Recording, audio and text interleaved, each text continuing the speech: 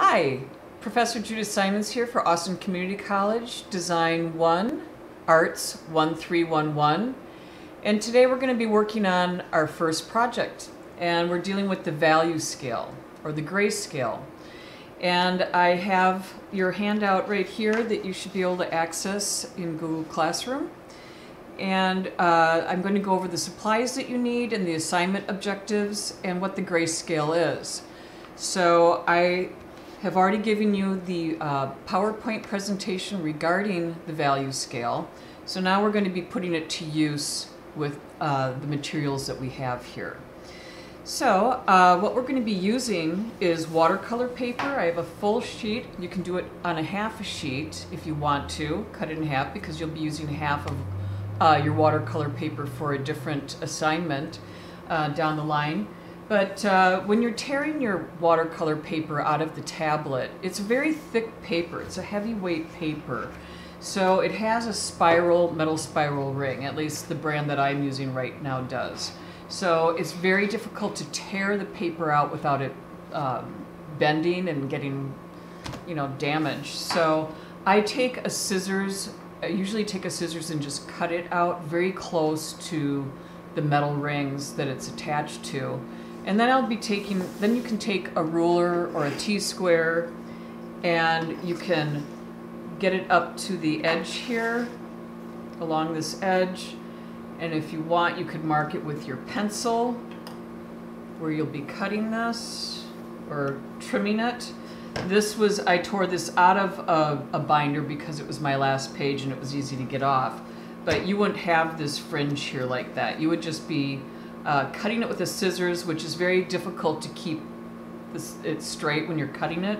So after you cut it, then you could be taking your T-square and drawing a line. And I have this on top of a nice drawing board, so I don't want to use an X-Acto knife for this right now. I'm going to use a cutting board or a piece of flat cardboard if that's all that you have at home.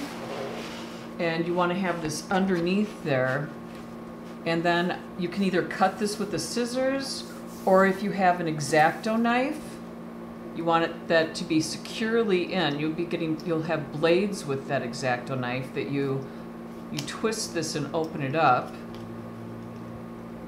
And we just push that in like so. And tighten it.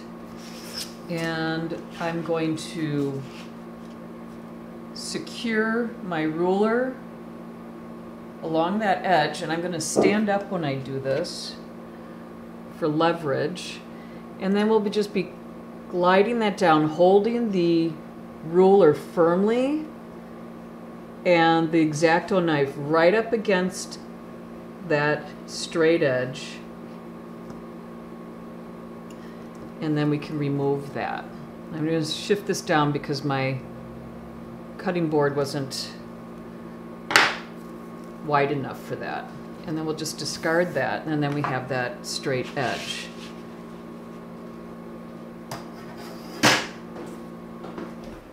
Okay, so we're gonna, I'm gonna get this up to the edge of my drawing board here. Let me remove this. And this could be a straight edge on a table if you wanted it to be, um, but you don't necessarily have to have this. But I'm going to tape this in place here so it doesn't shift on me. And I'm using quick release blue tape. This is painter's tape. And you can also use your artist tape for this as well, just to keep it from shifting on you. This is only necessary if you're using a T-square. And this is our T-square.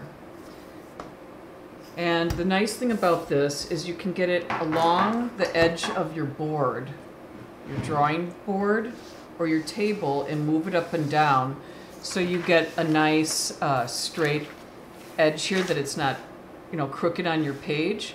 So you're able to do it that way. The other way that you can do this if you don't have a T-square is you can be using your ruler And we can get that right up to, let me get to the inches instead of that.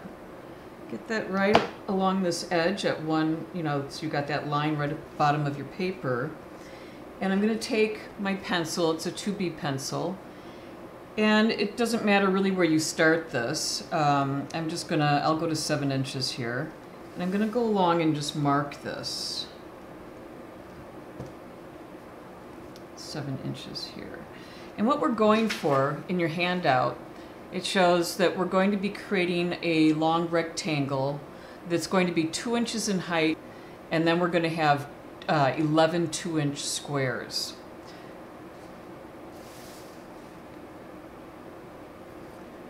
So I'm marking that again, seven inches.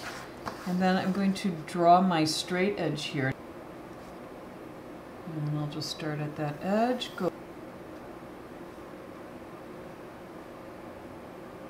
right there. Now I'm going to go up two inches for my height.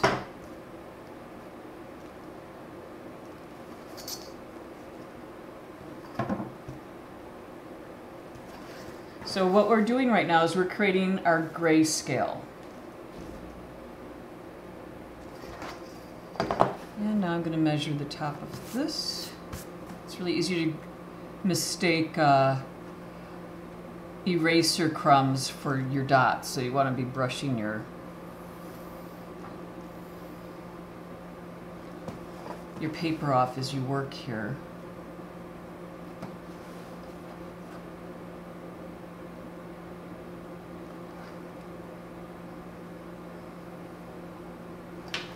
Okay, now I did have you get uh, get a triangle. This is a triangle. It's a, uh, I think this is a, maybe an eight inch one. They do come in larger sizes. I have a larger size here. But for this, I'm just going to uh, use this uh, to get a right angle here. So I'm getting the bottom of my triangle right up again, right along that edge here. And I'm going to draw a line there to square it off. I'm just going to flip it over like that and go down here. This was my true measurement at the bottom. I kind of eyeballed the top line. And I'm just going to draw that here. Now the next thing that we're going to do is we're going to measure two inches so we can get our two inch squares.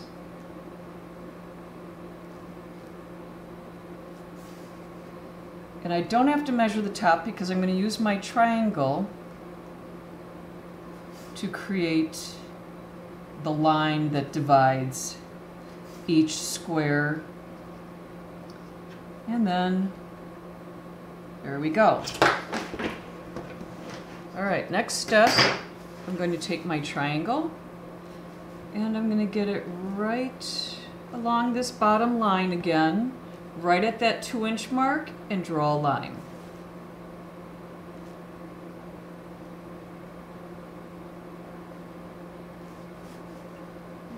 Now I have my grayscale, my 2 inch in height and 22 inch length grayscale with 11 squares in it, 2 inches each.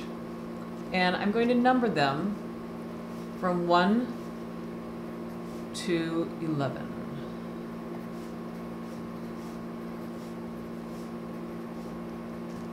And what I'm going to be doing with these is I'm going to be filling the first square in with pure black and then the last one in with pure white. And then the mixture in the center is going to be a 50-50 mixture. So we can mark that. One, two, three, four, five. This will be our middle, which, you know, six right there. And um, that'll be our 50-50 mixture.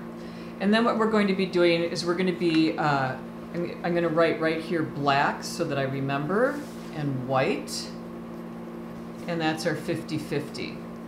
And then what we're going to be doing is we're going to be adding some uh, black to this as we go this way, and some white as we go this way.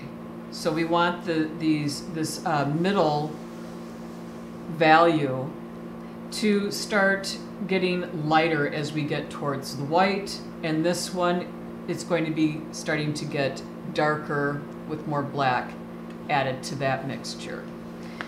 And uh, some of this, you know, it's not a perfect formula, so sometimes it's you're having to use your eyes to see the difference. And uh, if you paint it in and it doesn't look right, the nice thing about this is, is that you can always go over it again and paint it and um, change it up a little bit by maybe adding a little bit more white to it or a little bit more black to get a nice gradation. And so what I have in here, right here on the on the paper is create, uh, paint the first square pure black, then you're going to be painting the last square pure white. Do not leave that the white of the paper. You need to paint that white. Then you're going to be creating a 50-50 mixture of black and white and paint the middle square. Uh, then you're going to divide the 50-50 mixture into two parts and separate. Then you'll be adding a little white to half of the mixture and a little black to the other half. Then you're going to be painting each square opposite the middle value with each mixture. The darker value on the left, the lighter on the right. Now you'll be adding a little bit more white and a little bit more black to the same halves as you did in number five, step number five, and then repeat number six, filling in the next empty square. Your value should get lighter to the right and darker to the left. So you're going to repeat this until all squares are filled in with value. There should be no major jumps in the value changes. You may need to adjust, like I said, or repaint some of the squares until your square values are correct. The result is called a value scale. And then uh, you'll be numbering them from 1 to 11. I already did that from left to right above each square. And these will be the values that you're going to be using in your value painting composition, which I'll be covering in the next uh, segment of this assignment. All right, so what, are we, what we're using here is Liquitex Heavy Body Acrylic Paint. I have my titanium white and my Mars black. Titanium white is a more opaque white and so that's why I had you use this so we can get good coverage with it. And uh, what we're going to do is we're going to get started uh, by using a palette. So this is one of my old palettes here. And I'm going to just squeeze out a little bit of this paint. And let's go a little bit more there like that because I'm going to be use, doing a 50-50 mixture as well and then some black. Uh, one thing to keep in mind is that these paints, it's acrylic paint, it's not oil, it's water-based. It dries much faster than oil, which can take days or weeks to dry. This can dry while you're working with it, especially once you start mixing it and spreading it out on your palette and thinning it with some water uh, it's easier for it to dry quickly. If you leave it in little, you know, blobs like this where I squeezed it out, it can form a skin over it and you can always, you know, take your palette knife. Here's a my three inch metal palette knife. Some of you may have gotten the plastic one. Um, but you can always take this and kind of poke that skin, peel it back, and then use the paint that's on the inside of that skin that's formed.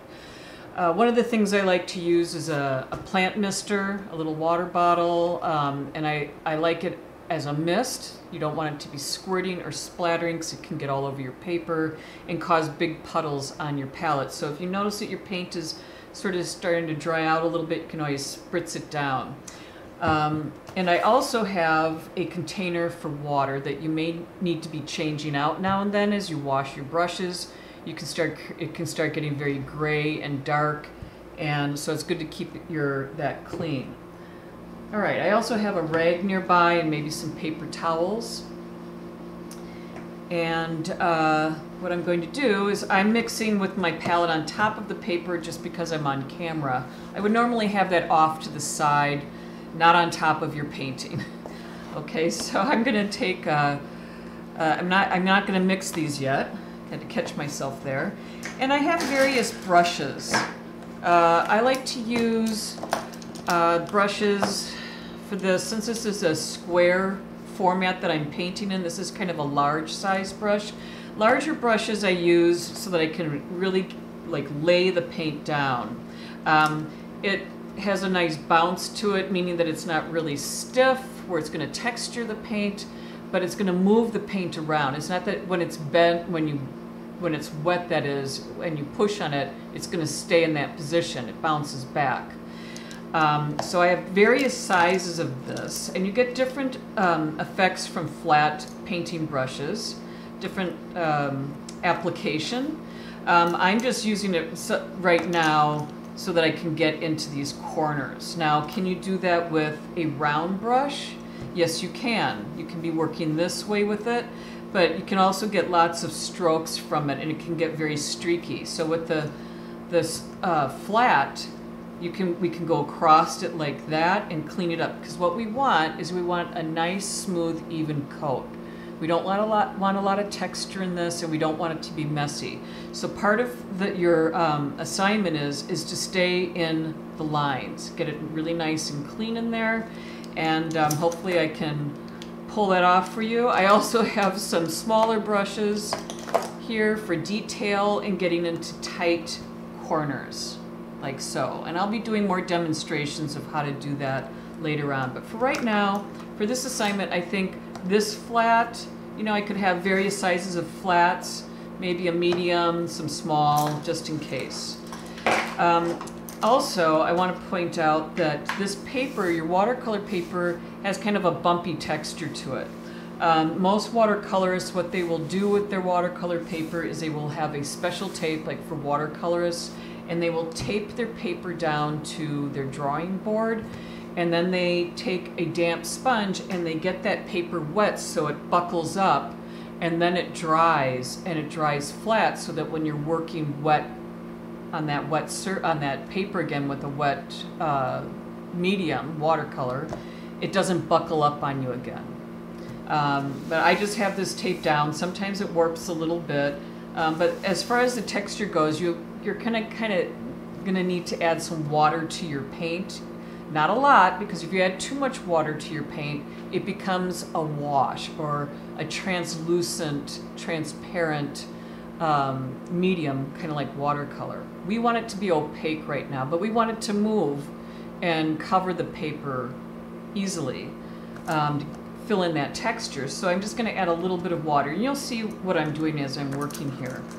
All right, I'm just going to set this over here and I'm going to get a little bit of some water in my brush and sort of dab it off. I'm going to put it right here so you can see me doing that on camera. Just dip it, do a little bit of that, get some of that off of there, and you can even take your uh, towel and dab a little bit off like that. So we're going black to white. I'll set my palette knife off to the side there. And I'm just going to grab a little bit of that paint and get it onto the tip. Now I have some little bristles, unruly bristles here that can be a problem later. See if I can get that to stay in there. Um, if not, I've taken actually taken a scissors and cut that off because it's pesky because it'll leave paint where you don't want it.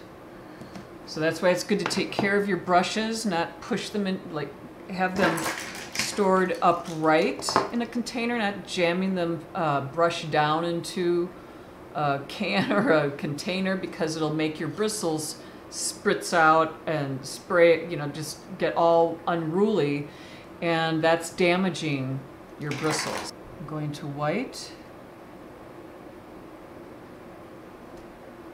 And I'm going to fill these both in first. So I'm as you can see, see the square of that brush? Move my water out of the way. And I'm sort of, I kind of shimmy it back and forth along that line. And then what I'll have um, when I, you don't want to overly load up your brush because it's going to get really messy. So if I, if I, if I have enough paint on there, I can run a bead of that paint down the line there. And you can shift your paper around so you, I'm, I'm keeping it like this because I'm on camera, but normally I might be turning the paper so I can get at every area that I'm looking at here. Right now I'm trying to paint backwards. and then I'm smoothing that out. So I'm kind of supporting my hand like that with my left hand my right hand with my left hand to stay, stay steady as I paint this. You can also use your pinky to steady your hand. All right, now I'm getting that nice and smooth. So there's my first, uh, well, it's actually my last square. And I'm going to rinse out my brush, and now I'm going to do the black square. Make sure you get all that white paint out of your brush. Sometimes you have to uh, kind of push it at the bottom, uh, like you're going like that, not jamming it down, because then you'll damage your bristles again. And you can always go like this while it's in the water, kind of bend it back and forth to get that paint out of the ferrule. This is the ferrule of the brush. And you never want to leave your brushes sitting in the water or your any kind of um, like turpentine or anything because that will make the the handle swell and the ferrule. This whole thing will pop right off. Right, so that seems pretty well rinsed out and I'm going to just dab it onto my rag to dry out the bristles a little more. And now I'm going to grab some of this black. And I'm working it into the bristles a little bit. And now we're going to the first square, square number one.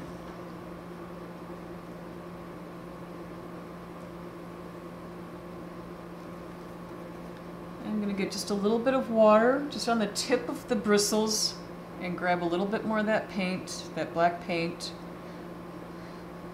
And I like to avoid having it really clump up here. So that's why I'm kind of going like this, pressing it down, then grabbing it so it's at the bottom, the tip of the bristles. All right, so this is going to be better coverage here.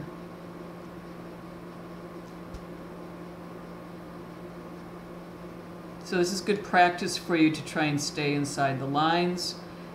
It's going to be very critical that you do that for the next assignment. Now, one thing that you can do is you could always just fill this in with your, the bigger brush like this.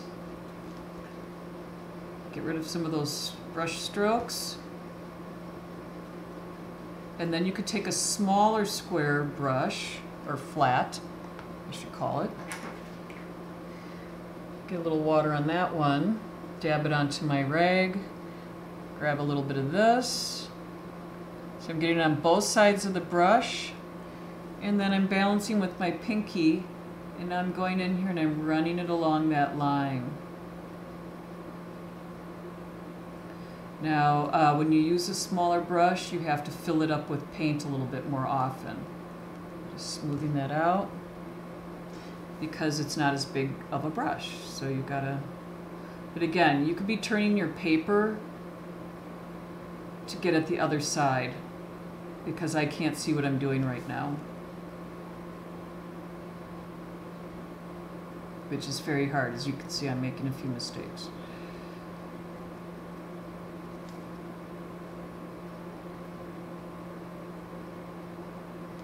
And just go down, and get a nice directional stroke there. Now it's time to mix the two together. Just gonna get some of that extra paint off of here and rinse these out. A lot of rinsing. Really getting, and you don't want to leave the paint on your brush either. If you just set it off to the side while you're doing other things, this paint will dry on your brush and it will damage it. And it doesn't want to come out. So you really need to uh, take good care of your brushes. And uh, let's see, there's that unruly one again.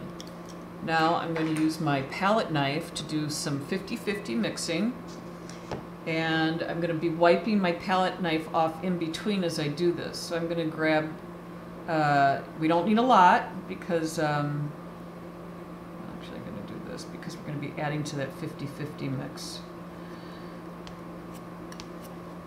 To wipe it off and we'll just look at this and see if they're about the same percentage. They Look pretty good to me.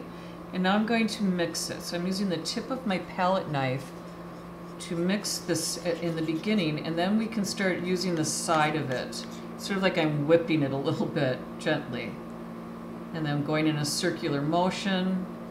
We don't want any swirls of value in here, or white and black. We want this to be very evenly mixed. So I'm scraping the palette with my palette knife to get a uniform value.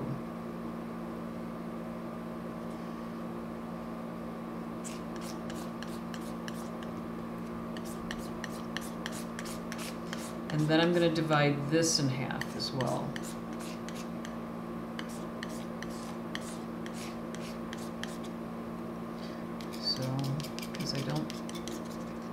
Need all this for a two inch square. See how I had some black on the other side? So I flipped it. It hides underneath there, so you gotta kind of press it down sometimes.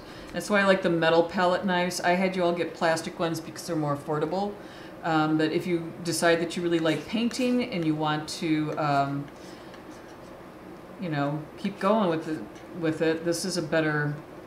Uh, I've had this palette knife probably since the 1980s, so they last a long time. Right, so I'm just going to grab some of that out of here. I'm going to put it over here to make some room. Uh, I'm going to go over, I, have already gone over palettes with you. So uh, what you'll find out is that it's really nice to have um, a bigger palette so you have room for mixing. When it's really small, it's very, you feel very confined and you run out of space very quickly. So I'm going to wipe that off. You can always rinse it in some water as well and wipe that off. So let's get that center, um, that center square painted now. Our 50-50 square, number six i'll grab some of that. Flip my brush over, fill it up a little, and we'll get this one painted. I liked how that went with the smaller brush. Kind of getting the center done like this. I felt like I had more control, so I was able to fill it in quickly with my value and then go in with the smaller brush and fill that in.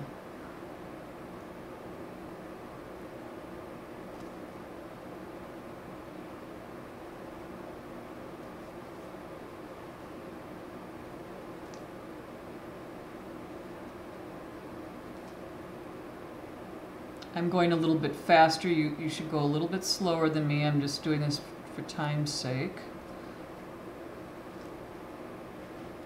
I see people that do those time-lapse videos for their demos and they're painting really fast. Um, the thing that I don't like about those kinds of videos is that you can't see you know the technique that people are using very easily. Um, it just goes too fast for me personally, you really need to see every step and every move that the artist is, you know, every position of their hand, the way the paint is laid down. You can't see that when it goes too fast. So there's our middle value. Now I'm going to start, I, have got the black on this side and the white on that side. I know I have a little bit of black there. I can transport some of, tran, like just grab some of that and put it on this side most of it because we're going to be um, working our way that way now. So I'm going to wash off my brushes and I'm going to turn it this way just so the white is on the right and the black is on the left. Get these rinsed out.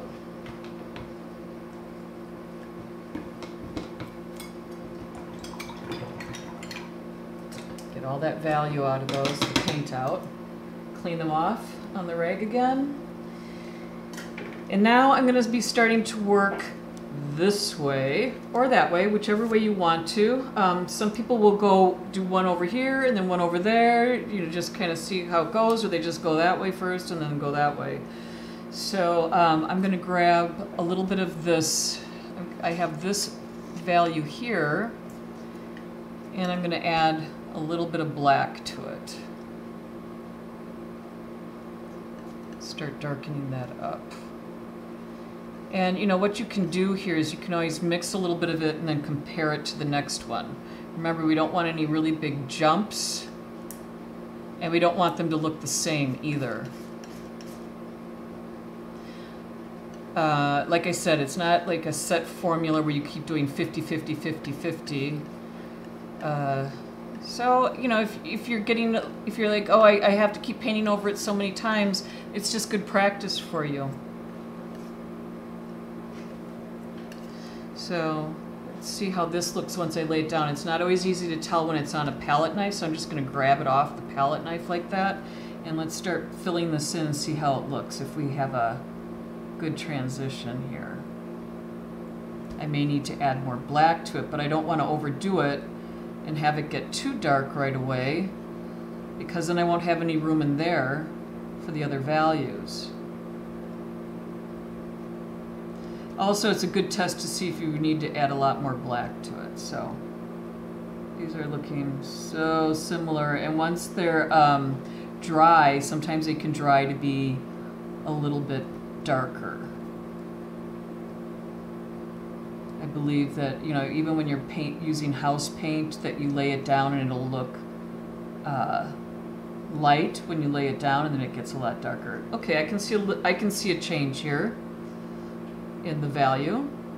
And let's just smooth this out, get rid of that little white area there so it's not distracting.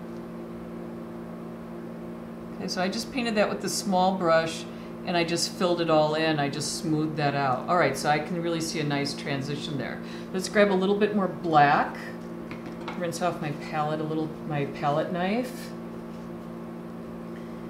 And I'm gonna rinse out my brush again. And let's move on to the next one. I'm going to grab a little bit of black. If we need to squeeze more out, we can. So I'm just going to grab a little bit like this. I'm going to pull that away from my 50-50 mixture a little. So I don't start mixing it in with this batch.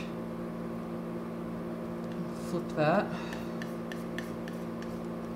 get both sides of the black paint off of your palette knife. Now let's take a look. That's getting darker. Excellent.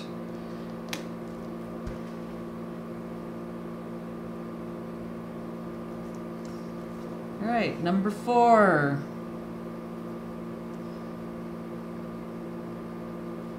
Now, you're probably wondering, what if I can't mix these up again and get them to be the exact same shades. We can call them shades, we can call them values or grayscale. This is the grayscale. Uh, but uh, this is why it's good to kind of keep an eye on how much black you're adding to that 50-50 form uh, mixture that is as you go. You can see I'm grabbing just a little bit as I go along here. So you know, it'll be close. It might not be exactly like it, but you'll have an idea of how much you need to add to this as you work on it. So keep an eye on that. Some people, you know, they try to mix them all up and keep them in little jars. You can do that too, but if you mix up too much, um, when you're doing this and it's not right, when you're doing your value scale, then you're stuck with them. But you could get them as close as you can and have little plastic or glass jars that you keep that in so when you're working on your uh, value painting that you're going to be doing next, then you have them already mixed up. All right, let's get the off of here again.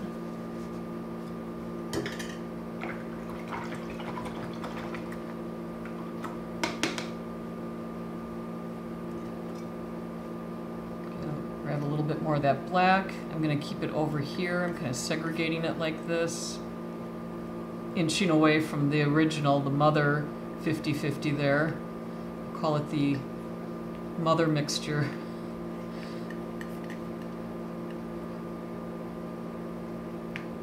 All right, that's looking darker. You can see it right next to this area where I just, I was just, had that last number four mixed up. So this is number three.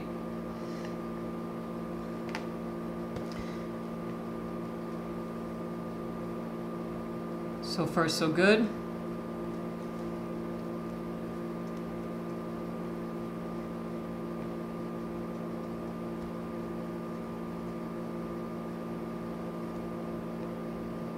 See how when I'm rushing I get a little messy, so don't rush it.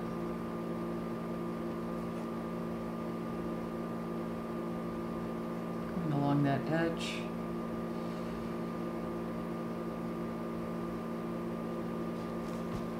see how that looks up against it value-wise. It's a nice transition.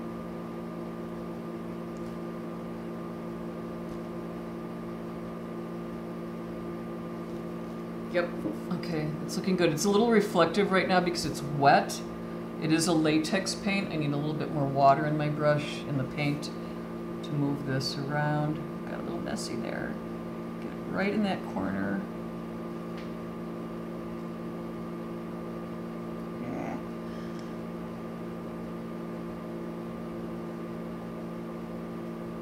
Work it into that the texture of the paper and get a nice smooth stroke on there. All right, one more. Rinse, repeat.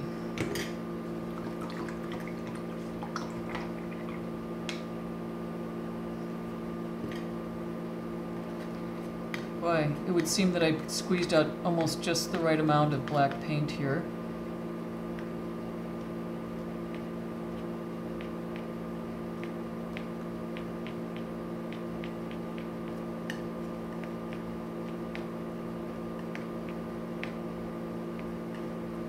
Okay, let's see how this looks in number two.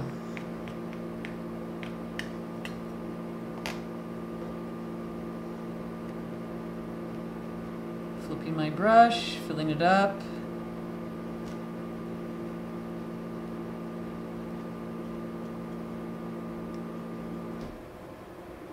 All right.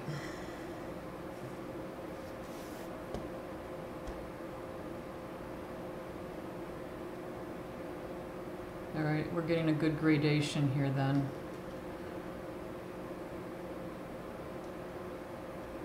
Just made my day a little happier. All right, again, remember to really mix up each value well so you don't have a bunch of different values in one square. It needs to be one solid mixture, one solid value. Need a little water. And then I'm gonna go the other way. I mean, I, I could let you just do this on your own, but I really want you to see that it's different going to the other end, the different values in the, the lighter ones. All right, that looks good.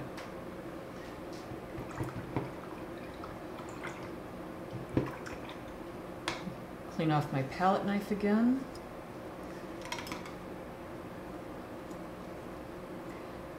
And here's my 50-50 mixture.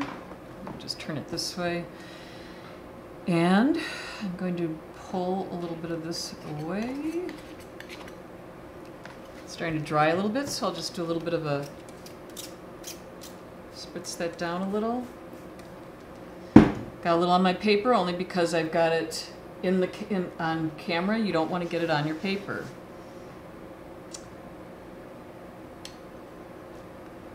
Okay, let me grab a little bit more of this. See, it creates little puddles of water, but you can just mix that into it. That's why you don't want it to be squirting. You want a nice fine mist.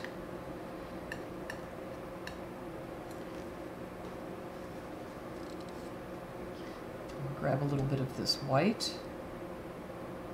Remember, I was kind of grabbing about, I'm to grab a little less, like that. And I'm going to pull that off over here.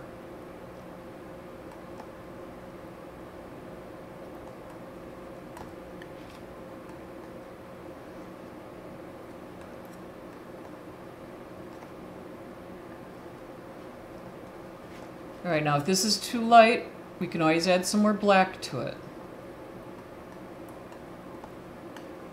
And vice versa, more white if it's not light enough. So grab some of this my brush.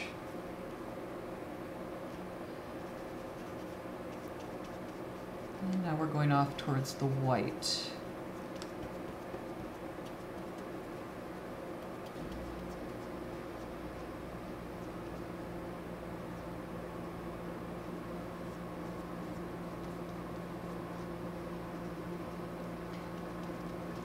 And that might, I, I'm not sure if that's too much white, we'll see, but we are going towards the lighter grays, the lighter value scale.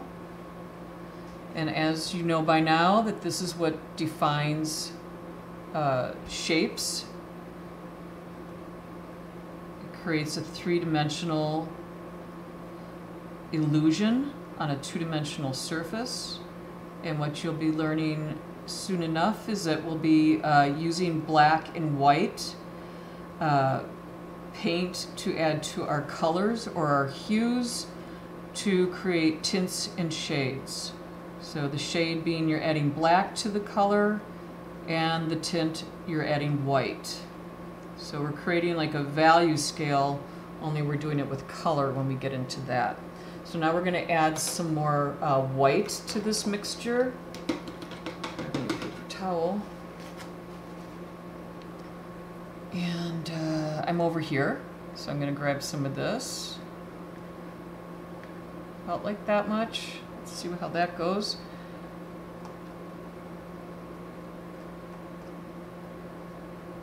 So yeah, it's not 50-50 at this point. I'm just kind of adding a little bit of it, and I can always add a little bit more. It's best to add uh,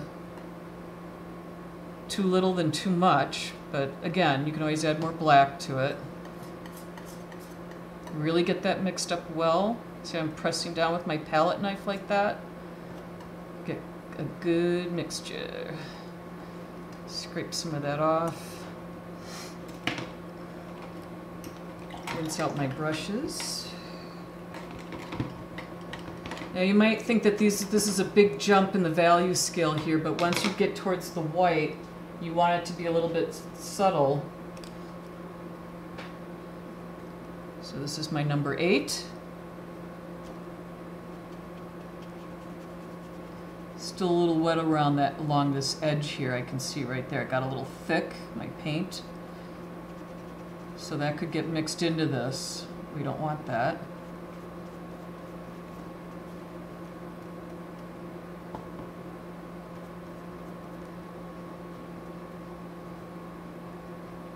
Good solid value. Let me get my little brush. Got a little black in there, so I'm mixing it up with my brush. You can mix paints a little bit with your uh, with your brushes as well. I do a lot of paint mixing with my brushes, not just always with my palette knife, but you know, the larger batches of uh, paint, I, I use my palette knife. But when I'm just kind of grabbing paint to mix different values or, or hues, I, I use my brush. I kind of build up color by grabbing different colors that way. Okay, so we got this number eight filled in. Let's grab a little bit more white.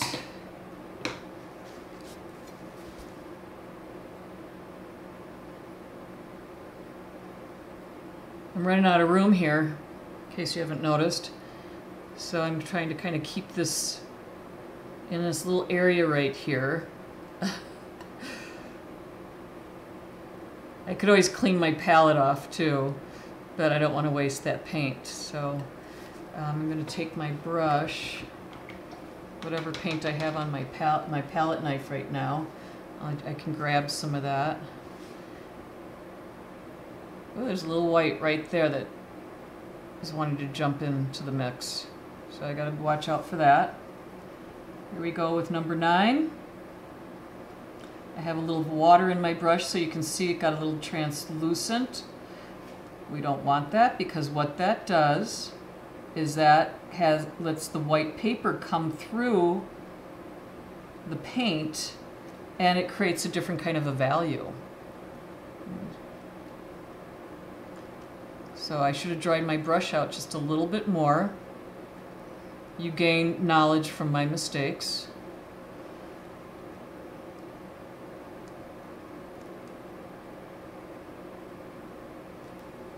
Mistakes are okay.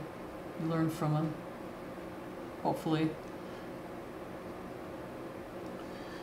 All right, so we've got nine filled in, and we're gonna grab a little bit more white and add that to this, this value.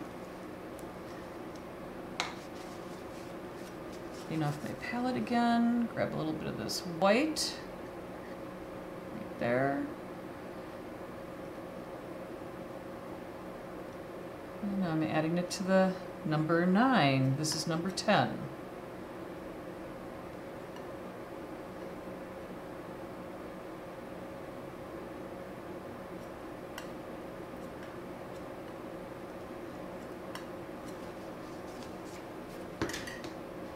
Be sure to dry off my brush this time. There we go. Grabbed a little bit from there. See, did you see that? So I'm just really mixing it in. You can see a little bit of a value change right there, so I'm avoiding that area. And let's just lay this down. Wow, I must have some water up inside the metal, the ferrule, because it's leaking down into my paint here. So it's a little translucent again. Just grab a little bit more paint.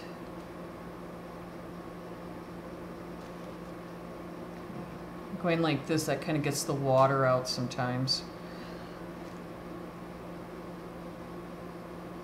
Now, see how this is, this is pretty much of a jump right here um, in value change. So, uh, you know, the thing is, is that the value scale, we could have a, there's a lot of values that you don't see with the human eye. This could be you know, hundreds of squares. So this is a big jump right here. That, uh, we could always take a little bit more white and add it to this mixture. Um, but again, it's going to be a bit of a jump because we don't have enough squares to really transition to that white. It's always, it seems like it's always the, the white, uh, the lighter values that we don't have enough of a, a range at this end. So um, let me wash out my brush before I put that in there. And let me just see what this one looks like, just for the heck of it. It's still a little bit wet. Um, so you might be mixing that paint in with this if it's still a little bit wet, but I'm doing it time for time constraint. But yes, you can add some, if the acrylic paint is still wet enough, when you're laying another uh, color or value on top, you can mix them a little bit. And there are mediums that I'll go over with you later that you can add to acrylic paint to slow down the drying time and to make the paint flow on the canvas or your paper or your panel or whatever you're painting on a little bit uh, nicer than having it dry as you're working on it. So you can see we've got a little bit more of a transition. There can be so many in between these two values as well. Very subtle, subtle value changes. Uh, so this is your value scale now. And you've gotten the hang of, uh, hopefully gotten the hang of kind of mixing these into, you know, the, these percentages and these little increments of adding black to uh, you know, more black to your 50-50 mixture and more white to your 50-50 mixture. So this is a pretty nice gradation. So now it's time to move on to uh, the bigger project.